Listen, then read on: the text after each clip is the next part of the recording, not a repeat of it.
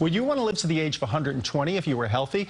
What about preventing type 1 diabetes before it ever strikes? CBS 2's Dr. Max Gomez says that both may be possible, and they are being worked on by scientists, as described in a Vatican conference that he helped organize and moderate. This is the fifth International Vatican Conference, this year all virtual.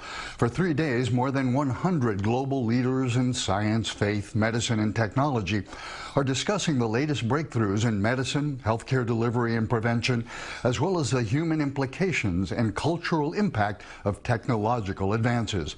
One of the high interest sessions deals with a very active research area, anti-aging or longevity. We can really achieve what we're trying to, uh, living healthy until 120. But that's not a desirable goal for many people if 120 means poor health, disability, and dementia.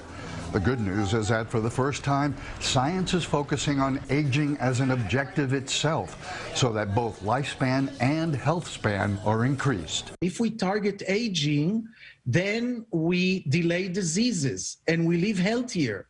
And so if we delay disease and live healthier, we'll also live longer. Researchers have identified several drugs that appear to restore some of the cellular processes of our youth. They include metformin, rapamycin, and NAD.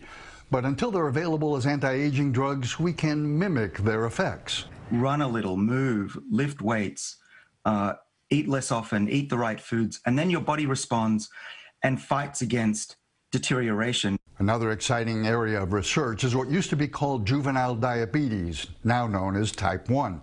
Not just for treatment, but actual prevention. We now have ways to be able to predict and detect early who may be heading in that direction by measuring autoantibodies that are relevant to type 1 diabetes. Researchers from Sanford Health and supported by the Helmsley Charitable Trust have launched the PLEDGE study to identify children with these antibodies and then test ways to keep full-fledged type 1 diabetes from developing. We're trying to assess if oral insulin, for example, can prevent type 1 diabetes. The scientific, ethical, and religious insights from the conference are open to all simply by registering through the Cura Foundation.